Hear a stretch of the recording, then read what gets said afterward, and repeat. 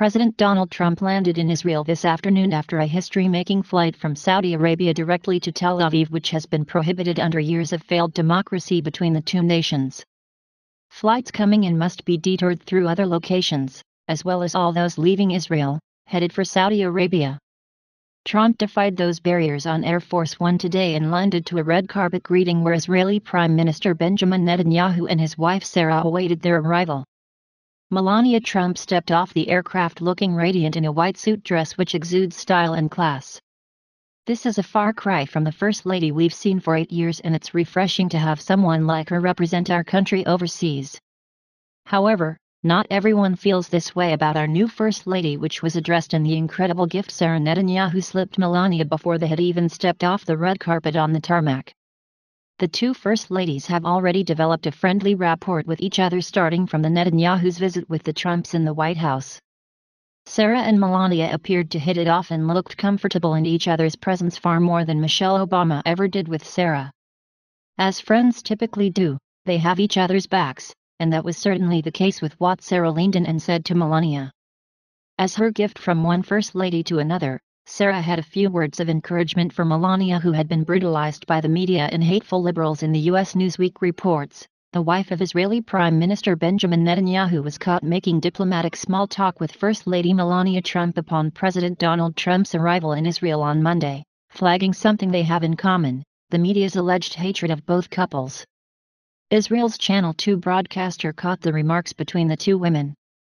You know in Israel all the people like us, the media hate us but the people love us, Sara Netanyahu said to Melania Trump. Like you. Dot. President Trump replied, We have a lot in common, to which Sara Netanyahu said, We'll talk about it over dinner. Dot. Both President Trump and Benjamin Netanyahu have been the focus of media witch hunts in their respective countries and as such can relate of this bias and unfounded scandals brought against them.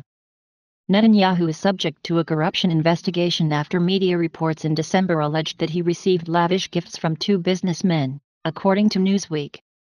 President Trump has previously announced that his intentions with this Israel trip is to reaffirm the unbreakable bond between the U.S. and the State of Israel. He's in the perfect position to do just that considering the two couples are friends on a personal level. The Netanyahus were never this friendly with the Obamas, likely due in part to Barack Obama being more concerned with assisting Israel's enemy in Palestine than helping America's Jewish ally.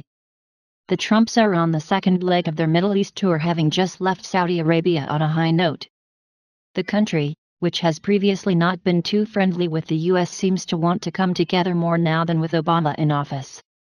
Trump and his family were shown a great deal of respect that was never seen with their predecessors. Some feel that this in part to Trump not bending a knee for anybody and being steadfast in his own patriotism and beliefs. What Israel sees in Trump is similar to what Americans see and that's a capable man who is will and ready to act on behalf of his people and allies.